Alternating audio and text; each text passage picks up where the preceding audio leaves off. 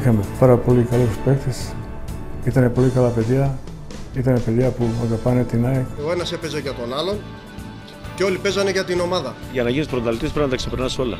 Πιστεύαμε ένα στον άλλον, πίστευε ο κόσμος σε εμάς, πίστευε η διοίκηση ότι μπορούμε να πάρουμε πρωτάθλημα και νομίζω ότι όλοι μαζί δώσαμε κάτι παραπάνω και τελικά δικαιωθήκαμε. Παρακολουθήστε την 3η 13 Φεβρουαρίου στις 10 το βράδυ το αφιέρωμα στην ΑΕΚ για τη σεζόν 1988-1989 αποκλειστικά στο Nova Sport Stories.